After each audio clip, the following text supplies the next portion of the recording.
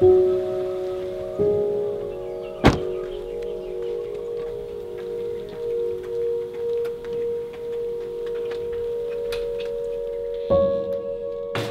know, I've always been a storyteller and from the earliest days I remember writing stories and pieces on pieces of paper and creating characters in my mind.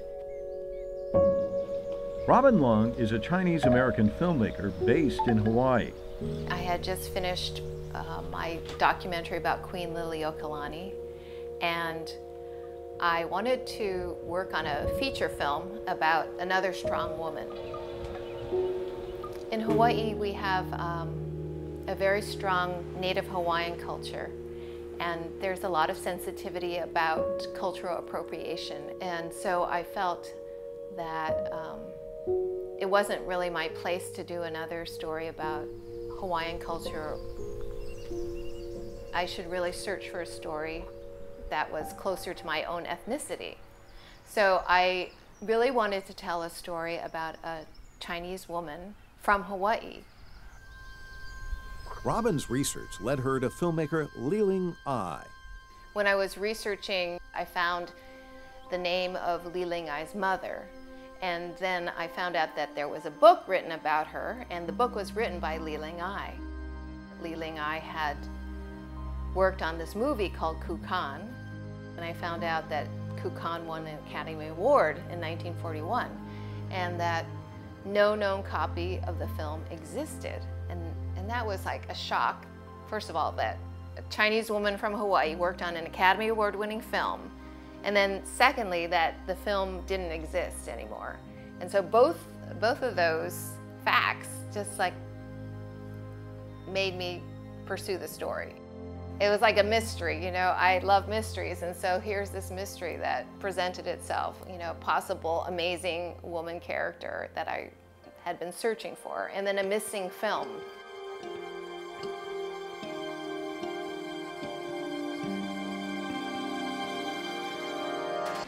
Robin would spend the next seven years looking for and eventually restoring Li's film, Kukan. Kukan is um, about the Chinese people's resistance to the Japanese invasion of the country. So Rey Scott, who's the cameraman for Kukan, travels through the parts of China that were, were not occupied yet.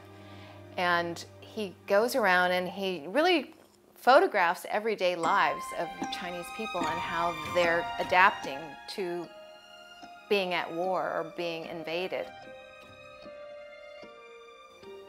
In all of the footage, what was really remarkable is that Rey Scott focuses on faces and close-ups and there's not a lot of dead bodies in Kukan. So I think really what he and Li-Ling Ai were trying to portray was China as like Chinese people as similar to Americans. Like these are not just like masses, you know, that they are people just like you and I and they deserve respect and they're students and they're scientists and they're farmers and they're, you know, mothers and sons and and they're being killed, you know.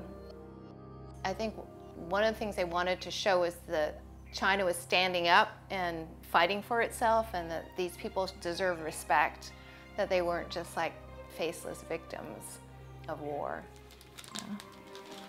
Here's more pictures of Li-Ling Ai. Robin's investigation into the life and work of Li-Ling Ai became the documentary Finding Kukan. Finding Kukan is really about this amazing female character, Li-Ling Ai, and she was a pioneer filmmaker. And so it's about her and her film that she made, Kukan, which was lost for many, many decades.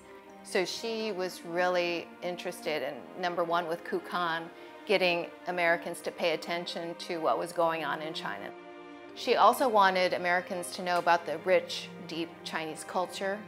So it's not just about the film, it's really about the people that surround the film.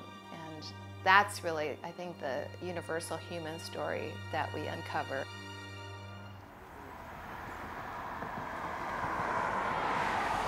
So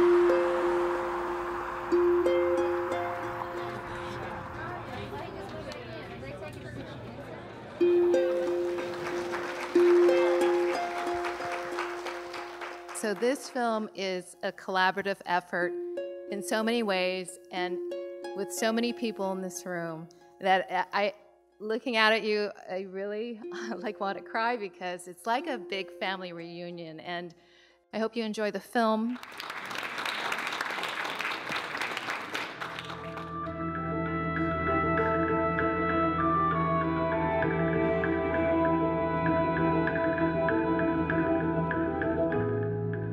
One of the most wonderful stops along my 10 city tour was in Atlanta because I got to screen the film for Rey Scott's family for the first time.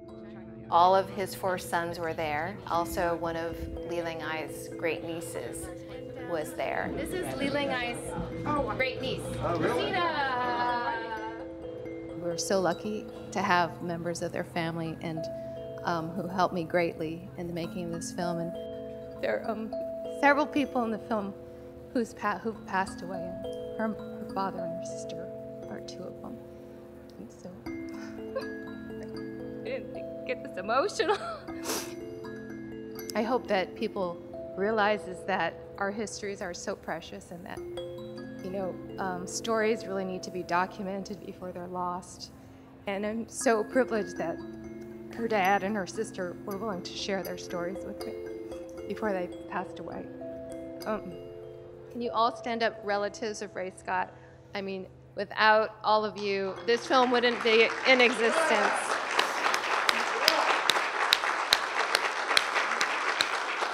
They were just so generous to allow me to, you know, go through their father's papers and and uh, photographs and. It, um, it's kind of like I got a, all surprised almost like adopted by the Scott family because I spent so much time with them and really talked about really personal, intimate details about Rey Scott's life with them. So, in or, to show it to them in Atlanta was really, really um, special. And I was a little nervous that, you know, how they would react, but they all gave me big hugs afterwards. What a great job.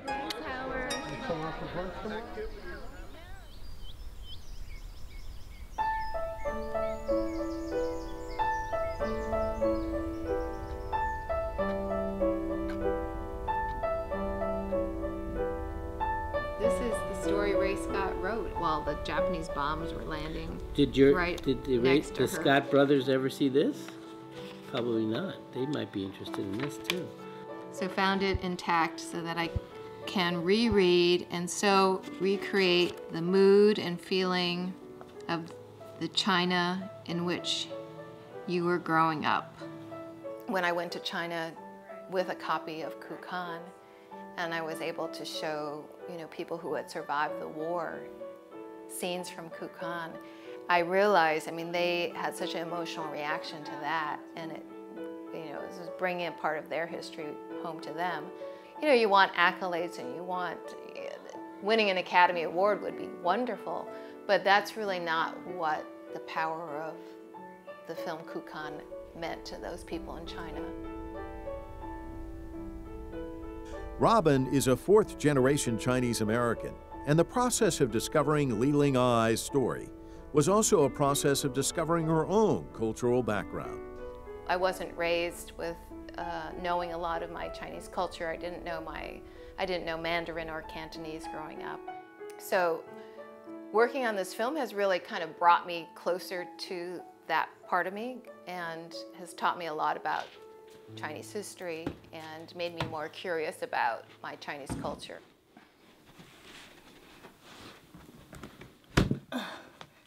This is my treasure chest. You know, she was uh, larger than life, very intelligent, very attractive.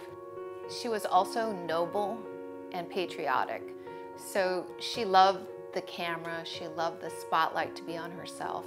But a lot of her flamboyance and the attention she drew to herself, she reflected back on things that she was really concerned about. And most of those things had to do with China. So there's Li Ling Ai. The part Li Ling Ai has played in the production of Kukan has been much more than that of technical supervisor. She, you know, she should have gotten much more credit than just being technical advisor. advisor, technical supervisor. So, um, yeah, I think it means that her claim to be co-producer is accurate. You know, she's taught me about perseverance, like creative perseverance and perseverance against discrimination. My film is also about my own discovery of that spirit of Kukan to persevere and fight not give up. Through her own dedication to uncovering this story, Robin shined a light on an icon who was almost forgotten, but whose barrier breaking story could never be erased.